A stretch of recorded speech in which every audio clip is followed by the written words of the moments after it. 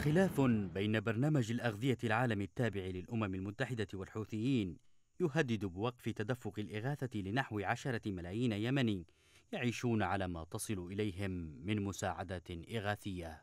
بدأ الخلاف منذ أن اكتشف البرنامج في ديسمبر 2018 حدوث تلاعب بصورة منهجية في المساعدات التي يجري توزيعها في المناطق الواقعة تحت سيطرة الحوثيين من خلال شريك محلي على صلة بسلطات الميليشيا. وذلك ما استدعى البرنامج إلى الاتجاه نحو العمل بنظام القياسات الحيوية الذي يهدف لتحديد الأشخاص الأكثر احتياجا. وهو نظام يعمل وفق آلية مسح لقزحية العين وأخذ بصمات الأصابع والوجه معمول به عالميا لمكافحة الفساد في توزيع المساعدات وسبق للبرنامج تطبيقه في مناطق سيطرة الشرعية. مصادر مطلعة على المناقشات بين الجانبين.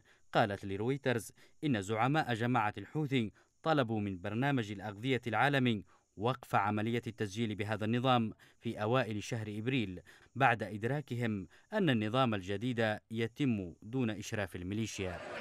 المتحدث باسم برنامج الأغذية العالمي قال إن استمرار وقف تسجيل بيانات القياسات الحيوية من جانب بعض قيادات جماعة الحوثي يقوض عملية أساسية تتيح لنا التحقق بصورة مستقلة من أن الغذاء يصل للأشخاص الذين صاروا على شفا المجاعة. أما رئيس ما يسمى باللجنة الثورية محمد علي الحوثي اعتبر أن إصرار برنامج الأغذية العالمي على أن يكون متحكما في البيانات يعد انتهاكا للقانون اليمني. الواضح إذن أن الميليشيا تستميت وربما قد تغامر بأقوات الملايين مقابل استمرارها في نهب الإغاثة المقدمة من قبل المنظمات الدولية.